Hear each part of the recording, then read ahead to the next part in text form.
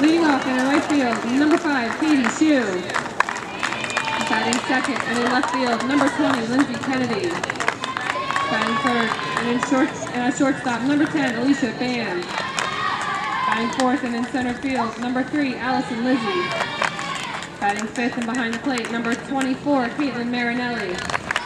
Batting sixth and at first base, number 19, Katie Yard. Batting seventh and on the mound, number 15, Cassie Shotwell.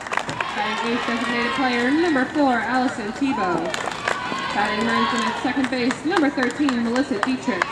And playing third base, number 21, Courtney Malcione. Head coach of the Cougars is Marty Acker.